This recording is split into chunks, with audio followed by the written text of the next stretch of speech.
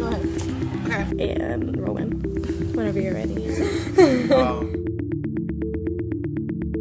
I'm studying public health and public policy with relations to reproductive health and international economics. representation in high school sports. sculpture and a little bit of Latin American studies. Normalizing diversity in creative fiction. Pre-med, I also studied dance. music and computer science.